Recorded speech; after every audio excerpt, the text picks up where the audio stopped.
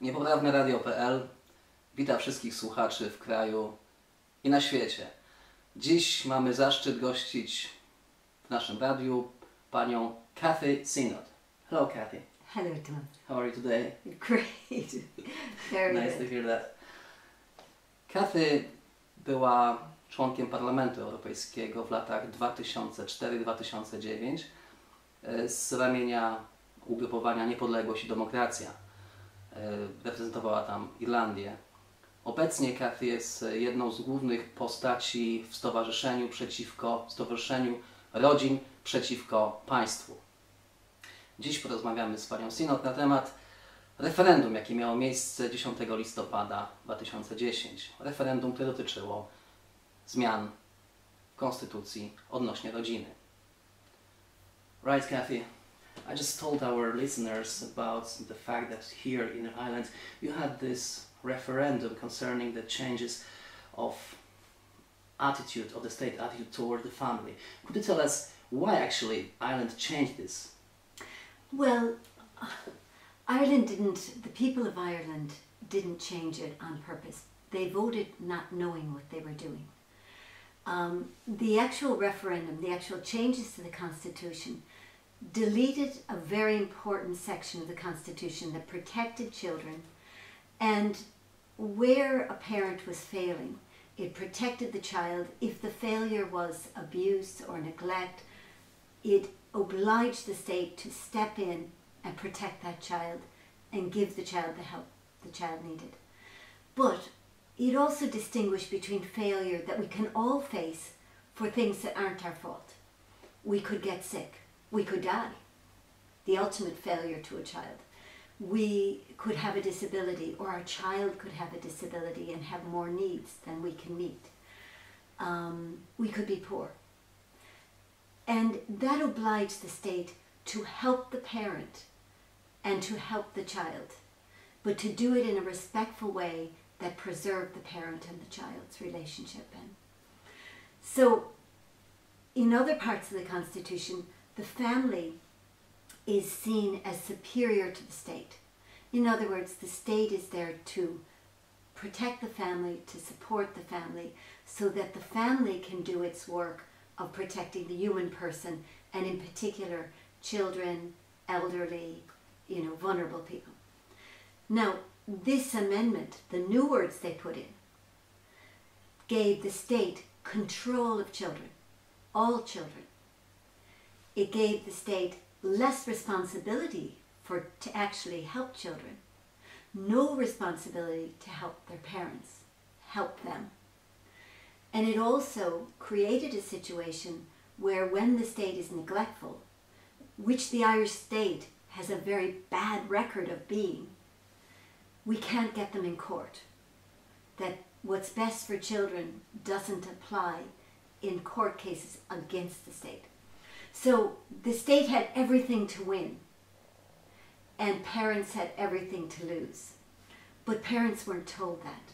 They weren't told that this vote gave up their right to be the parent, to do what God gave them to do, which is nurture the child and protect them. They were told that they, people were told, voters were told, that they had to vote yes to help abused children, which was the furthest thing from the truth. Because the Constitution, as it was, already obliged the state to help abused children, and they weren't doing it. So changing the words gave the state less responsibility, more control, and got them out of trouble for their neglect.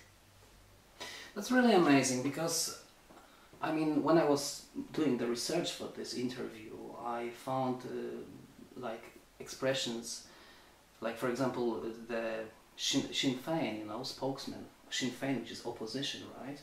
He said something like, this referendum, this new wording, was a significant step towards enshrining children's rights in the in the in the constitution. How would you comment on that? What what made made them to say so? Like, Okay, well, two, I suppose there are three things here. One is Sinn Féin, although there are many good people in it, many pro life people. Sinn Féin is, when you look on their website, when you look at it, They're a Marxist group. In the European Parliament, they sit with the Marxists. They're in the Marxist grouping, which is called the GUI. Um, they are a pro abortion political party. If you look at their website, they are committed to bringing in abortion, even though many of their own members don't realize this. Why else would they say it? Um, another reason they would say it is that this is what they were told. You know, the government information was that this was about children's rights. And in a sense, they were, it was true because we're talking about two different sets of rights. Children have rights in the Irish Constitution. They have the same rights as I have, you have, under Article 40. They have the right to, to the protection of their family. They are members of families. They're as much a member of a family as parents, so they have the superior and antecedent rights, as it's called in the Constitution, of the family. And then thirdly, in Article 42, they have a right to education because that's the main work of childhood is learning and developing. And they have that right according to their need, not dependent on resources. And they also, in Article 40, have the right to the protection if their, sta- if their parents fail. So children had all the right to be fed, to be nourished, to be nurtured, to learn, etc. But we're talking about a new set of rights in this amendment. So although the proponents of the yes side in saying this is about children's rights were telling the truth, they weren't expecting they weren't explaining to parents what those rights were and how they differed from the rights that parents would think of. So you're saying that there are going to be a new set of rights. A new you say something about this? Yes, and the thing is that a, a, Marxist group like Sinn Féin, and as I say, I exclude many Sinn Féin members who haven't got an, an, any idea of this, who are in good faith. They are signed up to this new set of rights. And what are those rights? Well, to find them, you look in the United Nations Convention on the Rights of the Child, and they're spelled out. Uh, a child has a right to privacy. Child have rights to privacy. Remember. And this specifically what, says. What about the age? What kind of age can be? It specifically says that this right is even from their parents. Wow. And age doesn't come into that.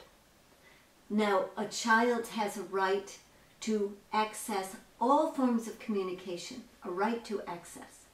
So, all people, communication, and when you look in the UN Convention, and I would recommend people read this document and read it twice, because the first time you'll be lulled by the language, you know, the caring language. Yeah. Jargon.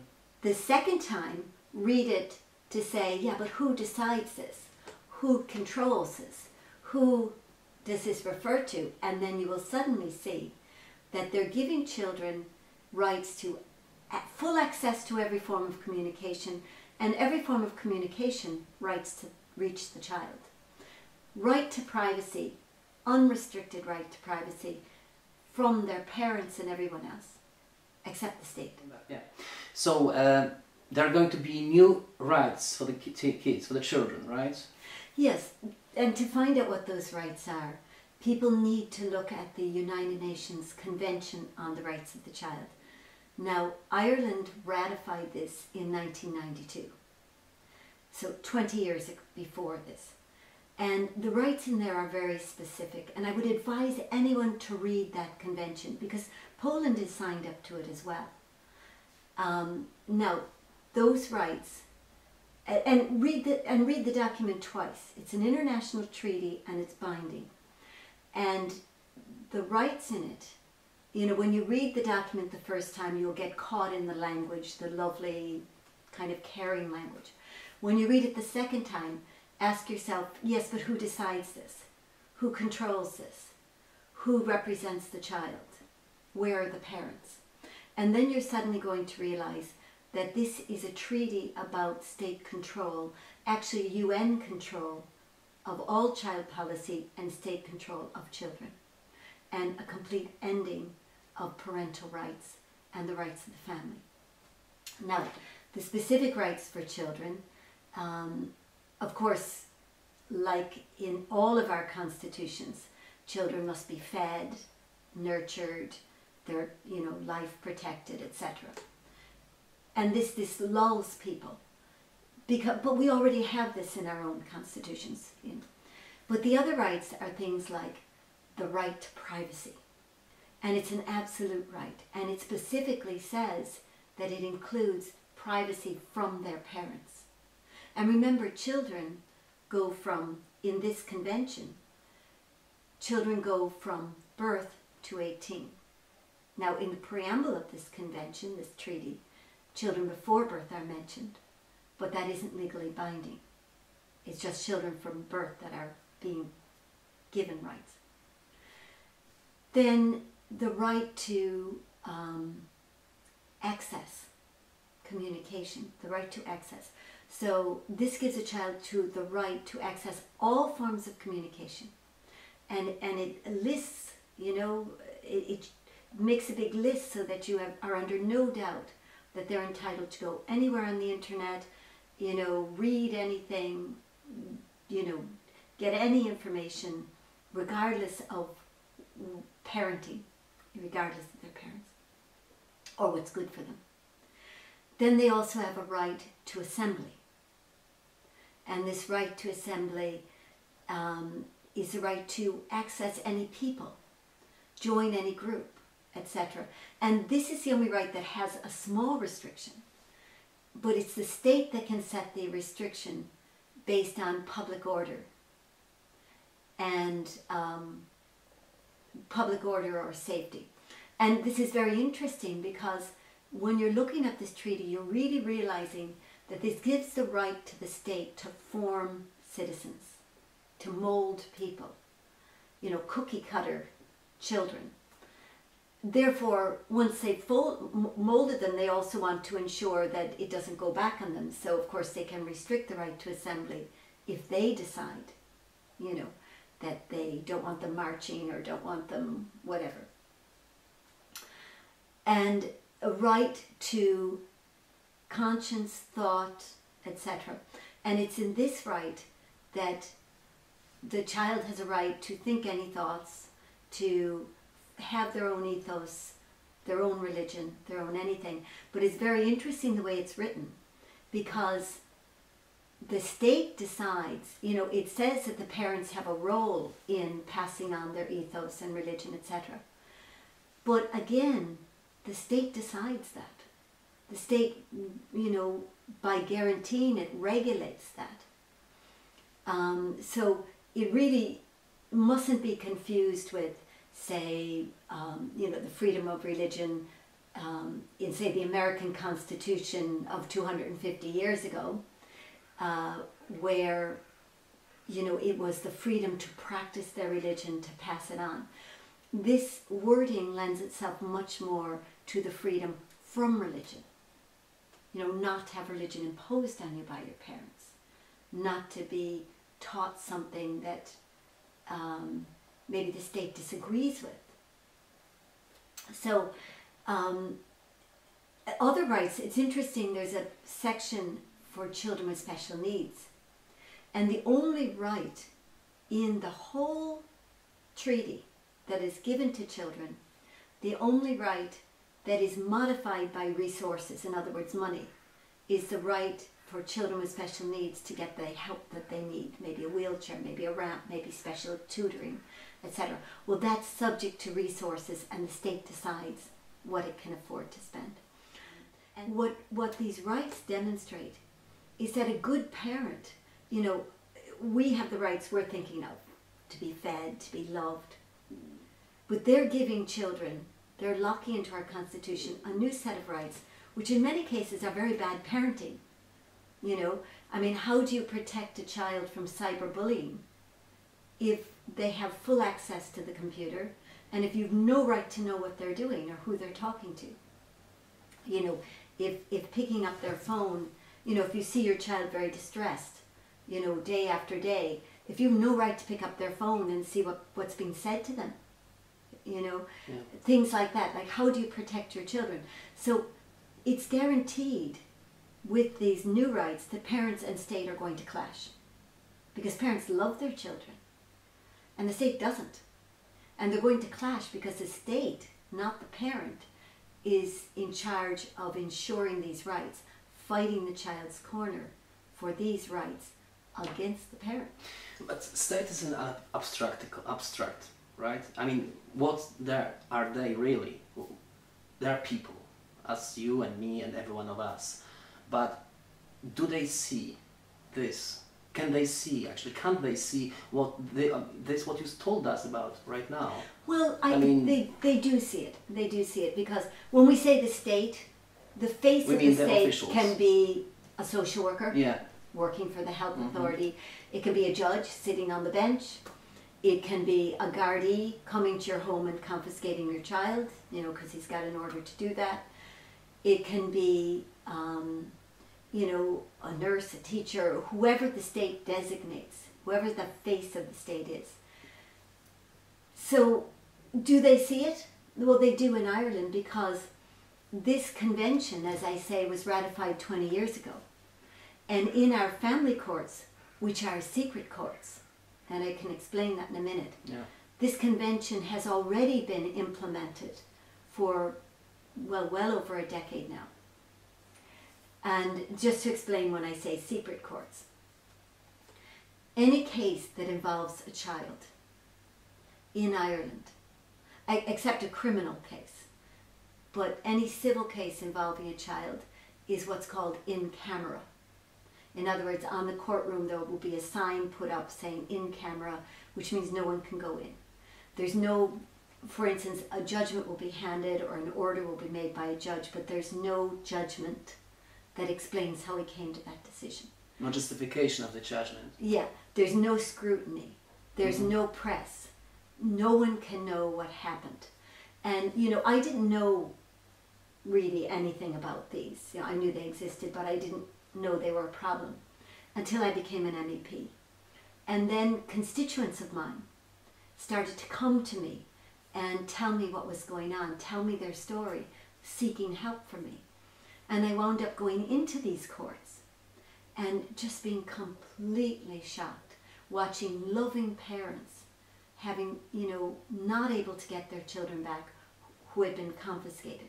In, in one case where I went into the courts, this mother had been, you know, her baby was seven months old, seven weeks old.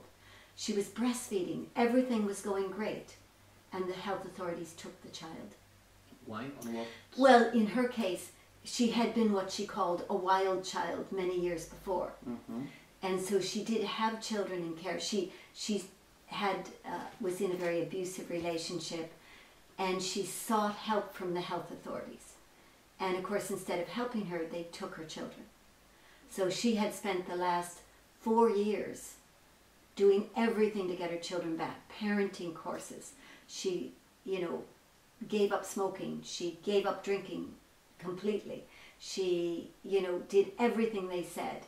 She kept her house meticulously tidy, etc. Never missed an appointment to see her children and constantly worked to get more and more time with them. And when she was expected, then she got married to a, a, a nice man, a Ukrainian man, an engineer. Um, they were expecting their first child. In the maternity hospital, the social worker said, You know, we're going to take this child. Although she had stable life and although and she was now married the problem was gone the problem she had sought help for which she never got help for was gone Oh. So she ran away. She went to a pro-life group who helped mothers in crisis. And the, these beautiful women took care of her at the other side of ireland. And they she had her baby. She was very happy. Uh, and that health authority found out where she was when the baby was seven months, seven weeks old, and came and took the child. Now she fought; she was fighting to get her child back. She had done nothing wrong. She had done no criminal activity. Her mothering was wonderful, And the day I was in court, they said um, she has a flat aspect. Excuse me? A flat aspect. What's I had never heard that before. But you know when you're called before the headmaster at school and he's yelling at you Well, and you go and you're very careful about what you say, you're very careful about what you do. Every time she saw her children, there were social workers there and she was very careful. But so the judge was told she had a flat aspect and that was bad for her baby. And so he said, "Oh, okay, well, the baby has to stay at foster care." foster care. Yes, and so this is what, so the state knew because they're already doing it mm-hmm. in the family courts. But the people don't know because they're secret, unless they've been involved in some way or it's touched their family. And there were a significant number of people who it has touched. So they knew exactly what they were doing, but this costs a lot of money. Confiscating kids, all these, you know, foster care costs money, etc. So the new system in this amendment was that they could forcibly adopt. In other words, they could take the kids, but they could give them to someone else and there'd be no money to pay. That's cheaper. Much cheaper because adoptive parents will pay legal fees, they will, you know, it's a win win for the state. And um, so everything was about saving money and gaining control. But people didn't know that. Wow, that's amazing. Right, so you told us about the nature of the changes. So if you don't know what's going on, usually it's you know the matter. If you don't know if you don't know what matters, usually money and power matters. So quite simple. Could you tell us something about the context? You know about the context of this referendum. I actually am aware that you you know whenever you go on the street, you can see uh, only yes, yes, yes, yes posters. Yeah. There, there must have been huge money spent for those posters, actually. That's right. Well, first of all, the context is that for the last 20 years, the UN Committee on the Rights of the Child, which was set up by the treaty to monitor Polish child policy, Irish child policy, child policy all over the world, um, they've been demanding a referendum. So They've world been demanding- right? The world government. They've been demanding that our constitution be made compatible to the UN Convention, not the other way around. Right. And they've been demanding that. Now, some countries ratified with reservations to accommodate their constitutions. So there wasn't a conflict. They just didn't sign up to anything that country. Ireland didn't do that. They just embraced it completely and obviously decided we'll change it when we can. Now, in 2005, there's an interesting exchange between our Minister for Children and the UN committee. All these documents are in the UN. You can get them online, but people don't know that. But there's an interesting exchange where they're demanding that the refer- you know, that we change our constitution, and it's been so long, and when are you going to do it? And he says, look, the Irish people are very attached to their constitution, so we've got to be careful. I'm, I'm paraphrasing. I'm not giving an mm-hmm. exact quotation, but you know, basically, we got to be careful we got to get the conditions right. We have to get the words right. You know, it, it's not easy to pull the wool over Irish people's eyes, particularly in this area. So, obviously, they considered that now conditions were right. We had the abuse scandals, you know, the clerical abuse scandals. And what's very interesting is they held back the other abuse scandals. You know, there's there's abuse in pro- you know, there. In fact, there's a group lobbying very hard for the last five years that the state would bring out the abuse that happened in non-Catholic, in say Protestant things, and in state abuse State. hmm and uh, abuse in the sports organizations, abuse in schools, you know, owned by the state, run by the state. So So the state failed as well. I mean, Oh well, well, even in even in the clerical abuse, it was very clear that the state handed the children over, walked away, underfunded, didn't monitor, and we already had a high court judgment, my own son's judgment, that says that when children have been damaged, that the primary culprit is the state who hands them over and never looks back. That the state must monitor vulnerable children. And now the state has is going to have more power than before. That's right. Though And, it, it actually failed. and in fact, during the time of the abuse scandals, the state was fighting a woman here from Cork in Kinsale who had been abused repeatedly by a teacher in a public school. And they fought her through to the Supreme Court that they were not responsible, even though they trained the teacher, they paid the teacher, they pensioned the teacher, they inspected the teacher. You know, everything was to do with the state. What about Enda Kenny? Shouldn't he actually uh, interfere in this? Because like he was so eager to say something nasty to, towards Pope and stuff. What about himself? no. Like, He is no totally no. Enda Kenny is totally on board for this whole agenda. Mhm. Enda Kenny is a European, Mm. and Europe would like us all to come under this. I mean, Europe has also, in the Lisbon Treaty, put the the UN Convention in the Lisbon Treaty. They put children's rights there, so they want this in every country. They want control.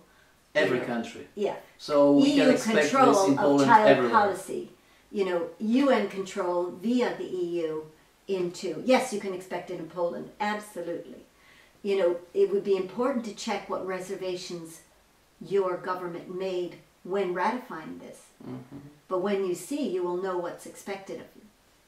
But the EU would like full control in that, you know, with the E UN. Unify actually. Yes. And so the thing is that Enda Kenny's just a European. He he has long ago given up being attached to the Irish people.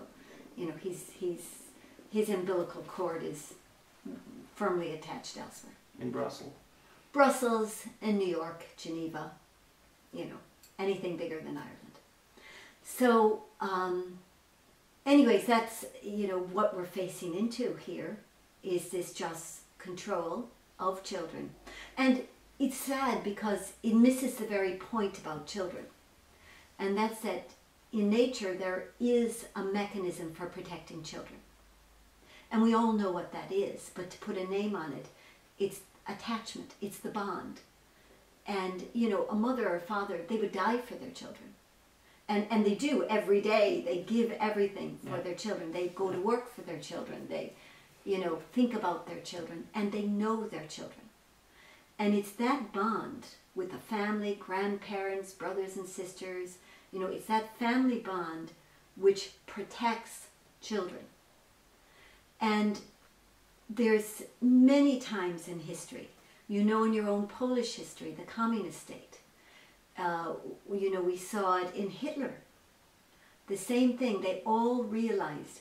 Voltaire, Voltaire, the, with the Enlightenment, he advocated taking children from their parents, raising them with people that didn't love them, to make them be able to be molded, you know, for the profit of the elite. So, So it's always been important to people with an agenda of control to get the children, to get them out of the home, to break the bond or weaken the bond or, you know, dilute the bond with children. right, I mean, this what you said right now. You mentioned all those systems, these totalitarian systems, Nazism, communism, and stuff. Right now in Europe, we've got something like uh, political correctness. It's another incarnation. I'd say it's a it's a Marxism according to Gramsci. I mean, what struck me here in in the Constitution, I've got the passage here which says like, provision shall be made by law that in the resolution of all proceeding brought by the state as guardian of the common good for the purpose of preventing the safety and welfare of any child being preju- prejudicially Prejudicially. prejudicially affected. This word I highlighted in red, prejudicially, right? What does it mean? Like, who is going to, to check if the attitude is prejudice or not? Yeah, well, that Right. was very interesting because it, it also you're you're there's a, a word in there you're also missing is likely to be Like, it- likely to be. So you have several words there. Number one, someone has to make a judgment, and that's the state through Mhm. one of these social workers or judges or whatever. has to make a judgment what is going to happen in the future or what could happen Crystal in the ball. Crystal ball. So likely um, to be prejudicially, and again, prejudicially, this is the idea, it's got the judicial aspect of it, of making a judgment. Um, this is the whole thing about what we think on balance, our opinion, our own agenda. You know, the state's agenda. You know, if if your agenda was that everyone woke up or everyone grew up with good self-discipline, independent spirit, you know, a deep faith, etc., then you would see very differently than if you were a state that uh, you know wanted someone who was malleable, controllable, totally obedient to the state and unconnected to any other ethos that would dilute their loyalty to the state. Well, you would think prejudicially meant something different. And then even the word affected, it's not effected, it's not EFF, it's AFF. Effected means something's happened, Right. something's been done, Mhm. something is. Affected is about Influence. attitude, influence. It's again just completely the stuff of uh, opinion. But the critical thing is the state gets to have the opinion, not the parent. That's, It's the state who decides. that's really scary. Saying. Well, you know, during the campaign, the other side really didn't have answers. They had their man, you know, their formulas. They repeated them over and over, like the chorus to a song, mantras. Yeah. But when we would talk and we would say what's actually in it, they would then say we were scaremongering. And my feeling about that is there's a lot to be scared of in this. There's a lot for parents and children to be terrified of in this. Now, of course, as, as a person of faith, you know, I don't get terrified. Mhm. You know, Well, I, I I- have to trust, but there are seriously dangerous things here. I think they are actually because like uh, lately on September, in September we had two cases in Poland that's very fresh. Like uh, one case, there was a woman who was owing to the state, to- to the fiscal, uh, 500 euros. She actually was assaulted by policemen during the night at 10 o'clock in the evening. The kids were sleeping. Uh, she was taken uh, to, the, to the prison and the kids were taken to the orphan house. That's one case. That's one case. The other case is two kids. I mean, the woman, as, as very similar to the case you told us about, woman went to the like you know social social care for the help. The, he- the only help which, which they gave her was take away her two babies. And and that's not the end. Two of these babies were, I mean, given to the foster parents, and those parents turned out to be psychotic, and they murdered both of these kids within like there was a time span. One kid was disappeared. There were sometimes some time passed, and the other also ki- was killed. So I think there is something to be scared. Well, It's there serious is. stuff. There is. And, you know, in that case I told you about, she did get her child back at the age of two because he was so badly damaged from neglect in foster care. She would never have gotten her child back otherwise. I mean, there are some very good foster parents, but these were not. And she got her, she, that was why she got her child back. He still couldn't talk, he still couldn't feed himself, he, you know, do any of the things he should have done it to. Kathy, how many people? I mean, we had this already. We had already this referendum. Uh, what was the outcome? It was like 70 percent people didn't go. Uh, Um, yes, the outcome, it was very interesting because the first poll mhm. had, I think it was 72% yes, you know, going for this because people didn't know what it was. They thought if you love children, you have to vote yes. And 4% no of people who knew the issues, obviously. But how many people went who actually Well, were uh, Yes, but that was that was three weeks before Mhm. before the vote. Then we know that three or four days before the vote, Mhm. we have a little bit of a test because people who voted by post, and we have four documented uh, tallies on postal votes, and we see that the postal votes that were done before the Supreme Court judgment saying the state was cheating and lying um, show that there was almost an 80, over 80% in all four cases, yes, vote. Now, on the Thursday before the Saturday vote, the Supreme Court came out and unanimously found that the state had broken the rules, that they had pretended to give people information, which was a booklet into every home, a website, advertisements, but that it was really yes propaganda, Okay, so which, what, they- what are you? which is against the law. Let, us cl- clarify this. So what you are saying right now, because we have to, to tell our listeners that that was you or the, the alliance, right? Actually sued the whole. Well, we, we, we asked somebody to take the case. I, I would have, it wasn't the Alliance, I would have done a lot of organizing of Mhm, the case. mhm. But um, a, a man called Mark McCrystal stepped up to the plate and took the case Took the case against the state, against the state for. against the referendum. No, he, he took the case that the state were using taxpayers' money hmm to push for a yes result.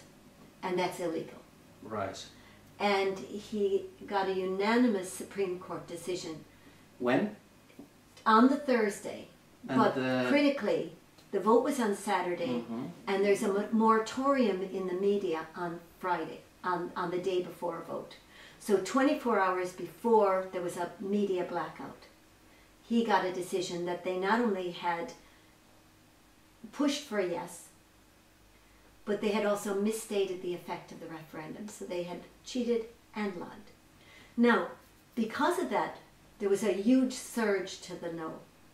But we maintain there was also a huge stepping back from voting at all. And um, so we can see that postal votes that were cast before that judgment, before the Supreme Court- were 80% and more for the referendum as yes votes. But at the actual poll, after the judgment, we saw the national average was 53%. So big drop.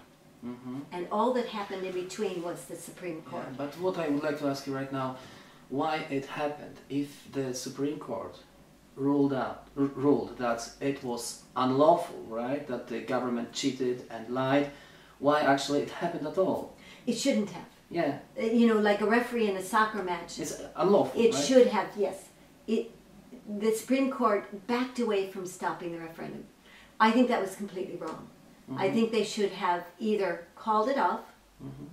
or they should have put the date forward by a week or two to give a chance for, um, you know, Because what, what can we see right now is that the Irish government is breaking the law in, in daylight, in open daylight, and, and nobody really does anything about this. Yeah, and there are no consequences. Yes, and the yes. fact is that from 1937, when we got this constitution, to 1987, for 50 years, the state obeyed the rules.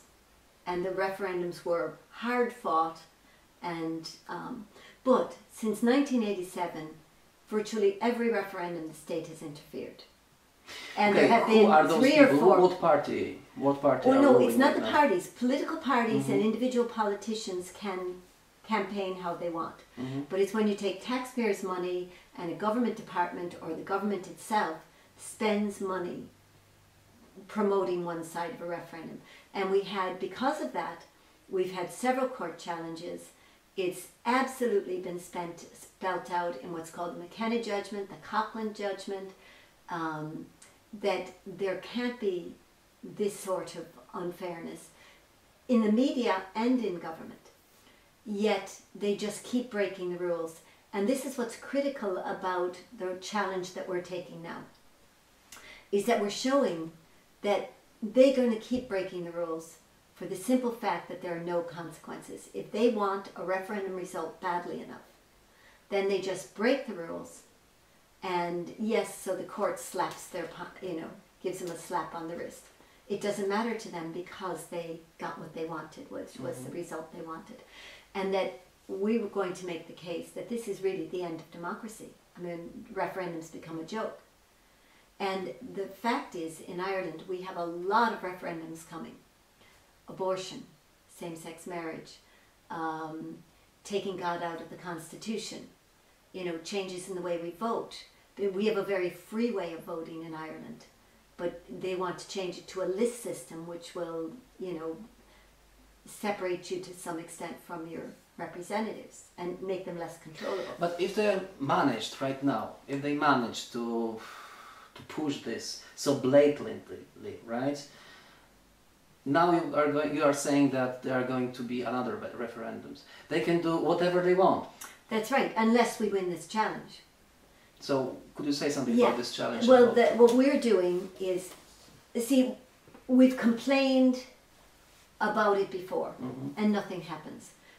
They, we've gone to court before, and it's alliance, right? Or just No, no, just in different referendums, Mhm. and we have gotten very good judgments, but no teeth to the judgments, no enforcement, no penalties. Mm-hmm.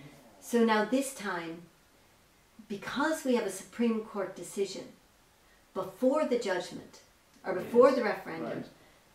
absolutely confirming what we're saying, we see this as the best opportunity and maybe the last opportunity to get consequences. You What know, kind of consequences? Well, I mean, ideally, we would love to have, first and foremost, we would love to have the main consequence be rerunning this referendum. That would be What about putting Wonderful. somebody into prison? Well, that would be wonderful. If we can't get the rerunning of the referendum, we at least want something strong. For instance, the minister to have to pay it back without taxpayers' money. That would bother any politician. Um, prison, absolutely. You know, we have to maybe the overthrow of the government. Maybe maybe the you know they would have to step down. Whatever we either stop pretending that we have a democratic system of referendum or we protect our system. And that's really what our challenge is going to seek to do.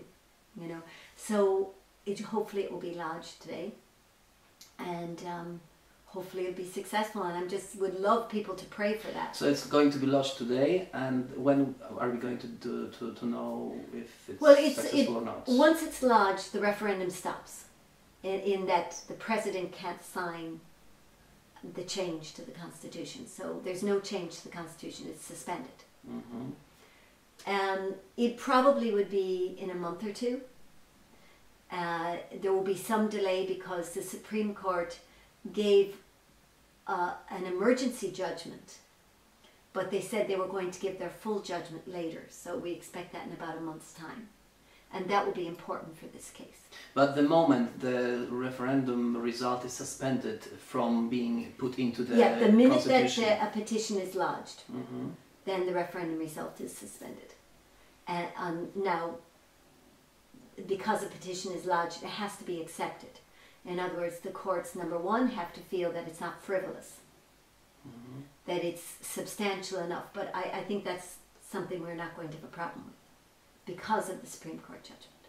Right, Kathy. And the last kind of question: um, Who are we? Because you are saying we. What kind of political or social power you represent this alliance for the for the for the alliance of the parents against the state? Because Well- like what I'm trying to to us to get you, what kind of information I'm trying to get from you is that I can see different parties here, but all of them were acting kind of anonymously, unanimously, you know. Yeah. But here I can see like some grassroots movement from the Irish Yeah. citizens. Yeah, no, this is completely grassroots, and and I'm not doing the work on this challenge from the Alliance of Parents and Children. I'm just doing it as a citizen, from me. You know, politically, even as an MEP, I was always a completely independent, um, and so that I could work with whoever on whatever, and I could do what was right, and always seek the truth and never have to compromise. So in this, I'm working just as me, at my own expense. Um, and but I'm working with hundreds of people now. I mean, I put out uh, a call, you know, just on email. I put out a call for people to, um, you know, download comments and articles and things from during the referendum. Well, people all over the country, it's spread and have jumped. You know, I'm getting things all the time. I put out a call then uh, for people to pledge funds for this case. Uh, because there's a registration fee, we're going to need to get experts. Even though the legal teams will do their work, no win, no fee.